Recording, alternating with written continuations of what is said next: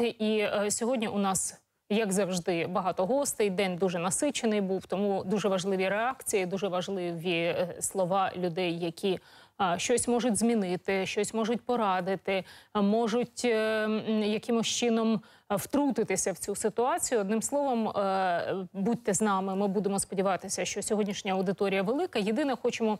Е, Хочемо звернутися до наших глядачів, оскільки е, було потрапляння в об'єкти інфраструктури. Тому величезне прохання до вас: бережіть електроенергію, е, відмикайте все те, що вам точно не потрібне.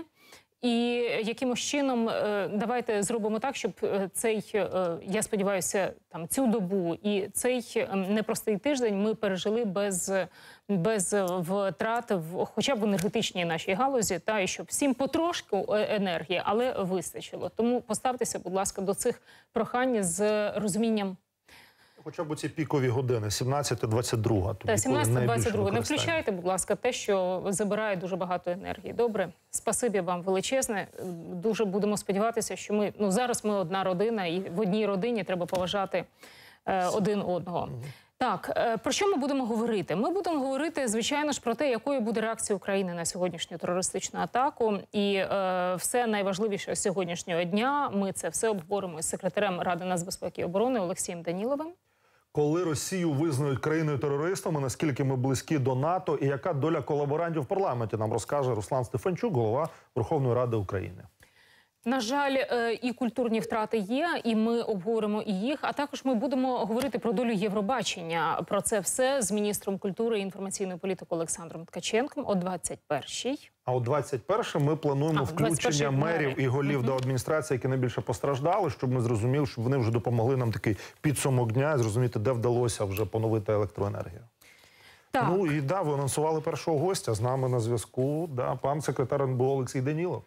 Добрий Олексій вечір. Вячеславовичу, вітаємо вас. Вітаю. Скажіть, будь ласка, ви можете вже ближче до вечора характеризувати, наскільки все ж таки вдалося врагу нанести оці нам важкі втрати саме в енергетичній системі? Адже вже президент чітко сказав, що вони били, прекрасно розуміючи, куди спочатку по енергетиці, потім по людям. Е, Дійсно, сьогодні відбулися е, от жахливі події. Е, Країна-терорист черговий раз показала своє обличчя. От, не треба нічого вигадувати, це їх суть. От вони не звіняться. І коли ви сказали, що ми стали одною родиною, я хотів би вам е, сьогодні е, заперечити. Ми вже давно єдина родина. От а з 24 лютого ми стали настільки рідними один одному, всі наші громадяни, які мешкають на нашій території, що нас здолати цим мерзотника буде просто неможливо. Повертаючись до вашого питання, можу сказати, що на сьогоднішній день завдали пошкоджень 11 об'єктам критичної інфраструктури. В деяких територіях вони є вкрай чутливими. Це перш за все мова йде про Львівську область. Але я більш ніж впевнений, що найближчим часом ситуація стабілізується і все стане на свої місця. Нам треба трошечки потерпіти, тому що у росіян завдання номер один це дестабілізація нашої внутрішньої ситуації для того, щоб у нас була паніка, для того, щоб наші люди злякалися, для того, щоб ми перепрошую за сленг, побігли на кордони. Тощо це завдання для них номер один внутрішня дестабілізація нашої країни. Ми це не можемо з вами допустити ні за яких обставин. І я дякую всім нашим громадянам за їх е, поведінку, яку вони на сьогоднішній день продемонстрували. На жаль, я можу сказати, ми де е, іноді підіграємо нашому ворогу агресору, коли ми викладаємо ті чи інші речі в інтернет. І сьогодні не було цим випадком. Я в мене велике прохання, шановні друзі, припиніть цим питанням займатися. Що відбувається? Російська Федерація беречу е, е, бере е, ці відео. От і починає крутити на своїй на своєму телебаченні, ви щоб щоб розуміли, вони це кажуть, що це суцільний жах. Що на сьогоднішній день вже о, є вимоги, е, яких взагалі не може існувати від слова зовсім. От, але вони це трактують як величезну паніку. От що тут незадоволені військовими нашими, бо і починають називати фамілії. Ну дивіться, вони все це використовують в своїх цілях. От справа в тому, що з рахуванням того, що вони не можуть здолати нашим військовим шляхом, от зараз питання, от посіяти паніку, посіяти такий, скажімо так, от на нашій території номер один. І друга ситуація: вони хочуть підтримати своє населення, дати йому надію, що в них тут буде все гаразд, і що вони впораються з цим так званим, скажімо так, військовою операцією, яку вони тут наголосили. Майте на увазі, що ми не маємо права їм в цьому допомагати.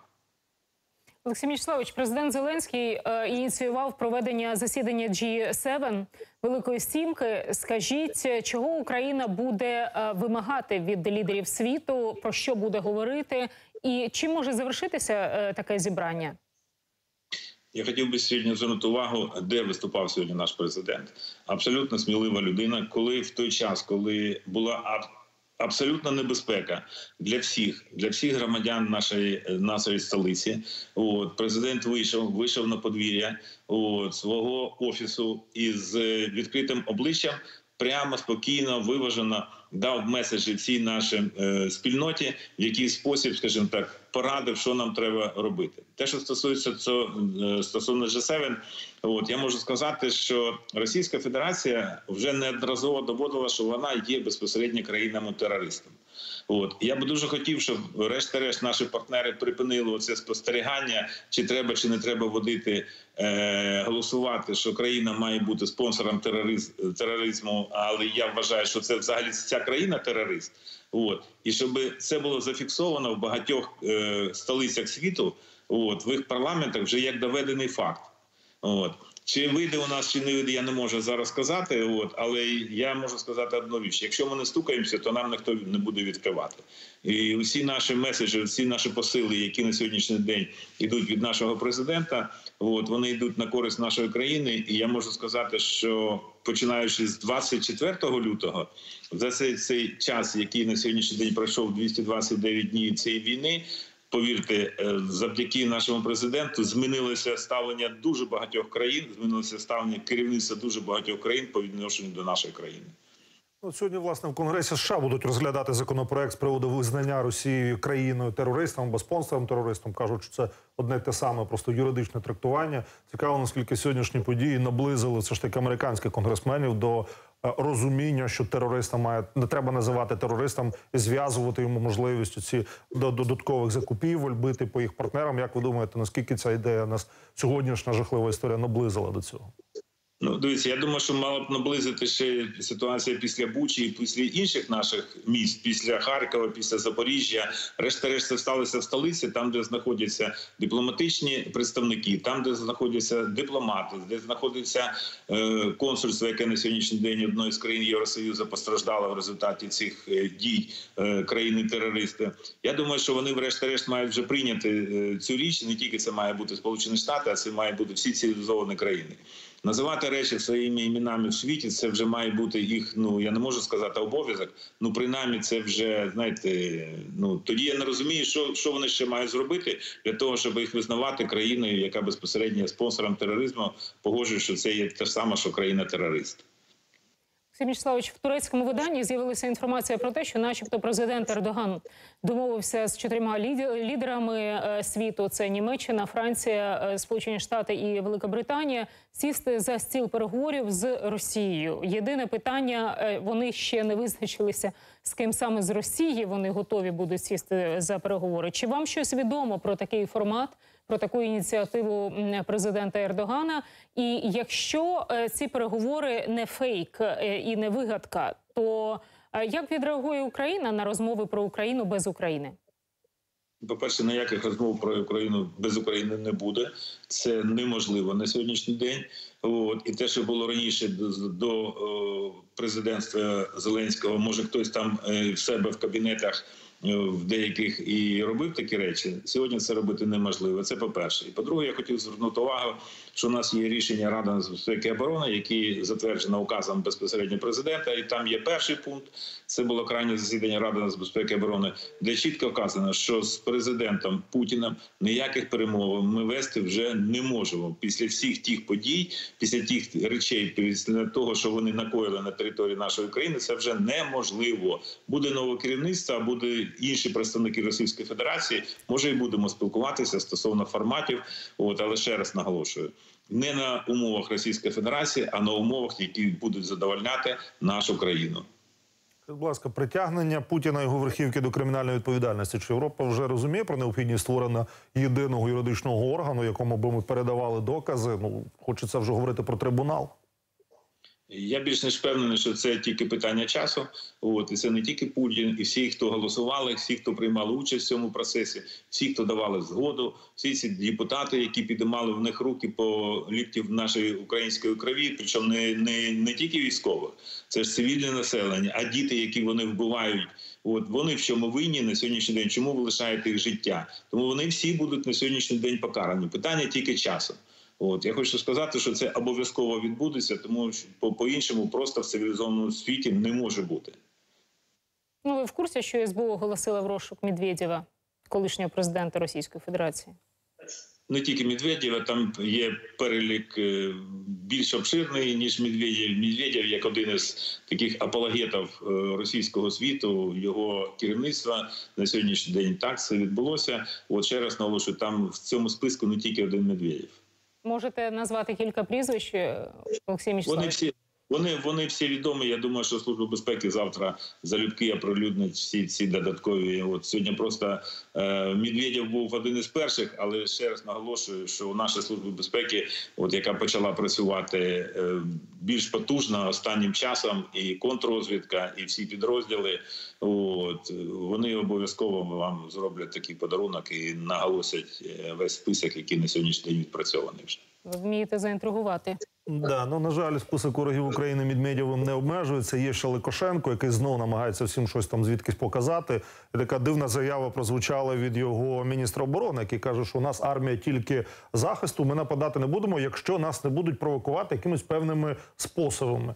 Чи взагалі є розуміння, про що він говорить, і може ви йому хотіли відповісти, що нас теж може не треба провокувати? Е, По-перше, я можу сказати те, що відбувається на території Білорусі. Вони знаходяться в заручниках, в заручниках Російської Федерації. Вони наполягають, щоб Білорусія прийняла участь в відкритій війни вже певний час. От до цього часу з території Білорусі, на жаль. От на жаль, ще раз наголошую, почалася ця е, от збройна агресія, активна фаза 24 лютого з території Білорусі. От і інші речі військового характеру від, від, відбуваються. Я можу е, вам сказати одне. У нас є дослідження, які переводились на території Білорусі. Бажання у Білорусі воювати з нами немає. е, От від слова аж ніяк. От чи змусить їх це зробити Путін чи ні? Я не впевнений. От інша справа, що Путін туди може відправляти свої війська, але ми розуміємо, що їх так на сьогоднішній день не так багато. Те, що там відбувається у них з мобілізації, ми у нас так само знаходиться під контролем. Як далі будуть розвиватися події, будемо слідкувати. Я хочу сказати, що звідти цього року на в неділю вчора закінчилася вже третя інспекція наших областей, які знаходяться на картоні з Білорусією. От всі представники сектора безпеки і оборони, включно з місцевою владою, відпрацювали е, потужно стосовно е, системи захисту наших кордонів. От всі області, які на сьогодні дотичні з Білорусією, там е, ми розуміємо, що відбувається з точки зору наших прикордонних військ, з точки зору територіальної оборони, з точки зору співпраці всіх органів, включно з тими об'єктами критичної інфраструктури, які знаходяться на території всіх областей. Олексій Мічславович, сьогоднішній день показав, що нам треба захист над головою. Скажіть, чи після такого масованого обстрілу України е, хтось вже просигналив, що вони готові дати нам цей захист? Ну окрім цих двох айрісці з Німеччини? Ви ж пам'ятаєте, що починаючи з жовтня місяця, жовтень, листопад, е- грудень, січень, лютий, ми е- постійно наголошували, постійно просили дайте протиповітряну оборону. Коли почалася відкрита агресія, президент просив закрити, будь ласка, небо. Це вбивають мирне населення. На превеликий жаль, на той час не було зроблено тих кроків, які дуже потребувала наша країна. От е, сьогодні цей процес зрушився з мертвої точки, але я не можу сказати, що достатньо от в кількості і достатньо в якості на сьогоднішній день наша протиповітряна оборона. І це треба визнати. Я думаю, що після е, особливо після сьогоднішніх е, подій, які відбулися, наші партнери обов'язково більш активно в даному процесі, в даному питанні займуть позицію. І тут питання часу. Розумієте, от е, нам це було потрібно ще вчора.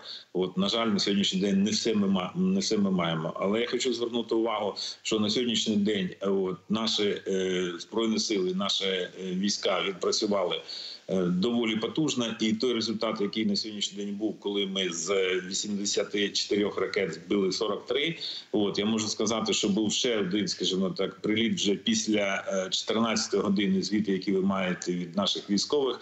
От після е, з 15.45 до 18.08, от ще 12 цих, скажімо так, от мопедів е, іранського виробництва, яких називають е, наші військові, залетали на територію нашої країни, і всі 12 були знищені. От один десь загубився. От будемо вважати, що він не наніс, скажімо так, великої шкоди нашої країни. Ми потихеньку навчаємося їх вже знищувати. От і відслідковувати, де вони мають з'явитися, і наші війська працюють військово бездоганно в цьому випадку. Але я ще раз наголошую, ми не застраховані від того, що будуть як на сьогоднішній день вони використовували і калібри, і іскандери, і інші, скажімо так, от речі. От тут на, на жаль, ми ще не можемо сказати, що ми на 100% можемо убезпечити нашу країну. От але я думаю, що за допомогою наших партнерів ми обов'язково це зробимо. Спасибі, Олексій Мячеславович. Дякуємо. Олексій Данілов, секретар Ради нацбезпеки і оборони, брав участь в національному телемарафоні. Спасибі вам.